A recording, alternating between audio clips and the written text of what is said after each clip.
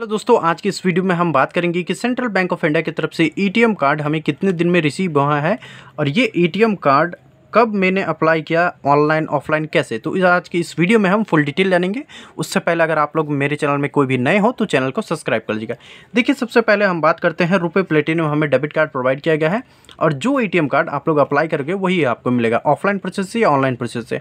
मैंने अपनी mobile banking central mobile app से अप्लाई किया इस डेबिट कार्ड को और हमें जो है ये डेबिट कार्ड प्रोवाइड किया गया। तो मैं ऑलरेडी इसका अनबॉक्सिंग कर चुका हूँ, साथ ही साथ ही कवर भी प्रोवाइड किया जाता है। और इस डेबिट कार्ड में हमें आपको, देखिए, सबसे पहले यहाँ पर आपको एक रुपये का ही कार्ड सिंपली प्रोवाइड किया जाता है और ये एक इंटरनेशनली डेबिट कार्ड है। यहाँ देखिए लिखा हुआ है, और साथ ही साथ नंबर वगैरह प्रिंटेड रहते हैं रुपये का डेबिट कार्ड है, और आप इस कार्ड से किसी भी एटीएम मशीन से इंडिया के किसी भी बैंक के किसी भी एटीएम मशीन से एक लाख तक का एक दिन में कैश विड्रॉल कर सकते हैं और दो लाख की ऑनलाइन ट्रांजेक्शन लिमिट रहती है शॉपिंग लिमिट और इस कार्ड की सबसे खास बात यही है कि ये जो इन सेंट्रल बैंक का जितने भी कार्ड है वीज़ा कार्ड है रुपये कार्ड है रुपये प्लेटिनियम कार्ड है रुपये सेलेक्टेड कार्ड है, उन सभी कार्ड में से रुपये प्लेटिनियम डेबिट कार्ड जो है रुपये का ये सबसे सस्ता वाला कार्ड है। तीन सौ रुपये इसके चार्ज है और अट्ठारह परसेंट जी एस टी लेके तीन सौ चौवन रुपये इसके चार्ज बन जाते हैं। और ईयरली फ़ीस भी सेम वही है। लेकिन इस कार्ड से अगर आप लोग सिर्फ़ ऑनलाइन में ट्रांजेक्शन करते हो ऑनलाइन शॉपिंग वगैरह कर सकते हो, इस कार्ड को अगर आप एटीएम में यूज़ नहीं करते, आपका मंथ ईयरली जो फ़ीस है, वो नहीं कटेगा। सिर्फ़ आप इस कार्ड को लेकिन ऑनलाइन में यूज़ करना पड़ेगा। अगर आप इसे एटीएम में यूज़ करते हो, तब आपका ईयरली फ़ीस भी पूरी तरह से काटा जाएगा।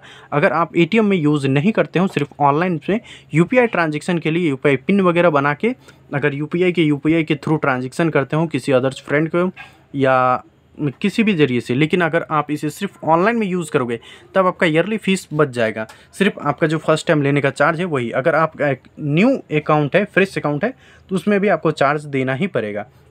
और सेंट्रल बैंक ऑफ़ इंडिया में ये कार्ड सबसे सस्ता वाला कार्ड है, तीन सौ चौवन रुपया। अदर्स कार्ड का नौ सौ या पाँच सौ या चार सौ प्लस चार्जेस होते हैं। तो ओवरऑल देखा जाए तो ये कार्ड सबसे सस्ता है और ट्रांजेक्शन के मामले में एटीएम कैश विड्रॉल वगैरह भी सबसे ज़्यादा मिलता है। एक लाख आपको विड्रॉल लिमिट मिल रही है ए टी एम से। और ये कार्ड मुझे जो है मिनिमम एक मंथ में मिला है अप्लाई किए हुए। एक मंथ पक्का लग गया और ऑनलाइन के तरीके से मैंने मोबाइल बैंकिंग के तरीके से अप्लाई किया हूँ और यहीं से मुझे जो है ये डेबिट कार्ड प्रोवाइड किया गया। आई होप आपकी इन्फॉर्मेशन अच्छी लगी। वीडियो अच्छी लगी, वीडियो को like share subscribe thank you so much मिलते हैं आपके अगले इन्फॉर्मेशन के साथ।